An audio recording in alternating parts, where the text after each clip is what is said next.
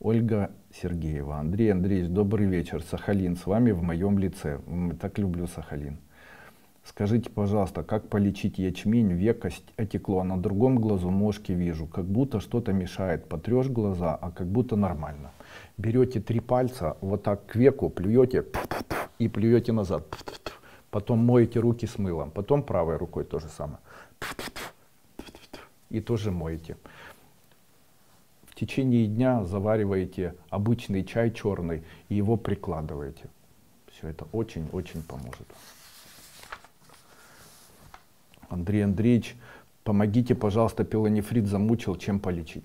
Самый простой метод лечения пилонефрита – это заваривание очень крепкого черного чая. Проверено, пейте чефир. Если вы болеете пилонефритом, чефир за 3-4 дня убирает любой пилонефрит. Вот доказано, 100% проверено. В случае, если человек пьет чефир, пилонефрит исчезает.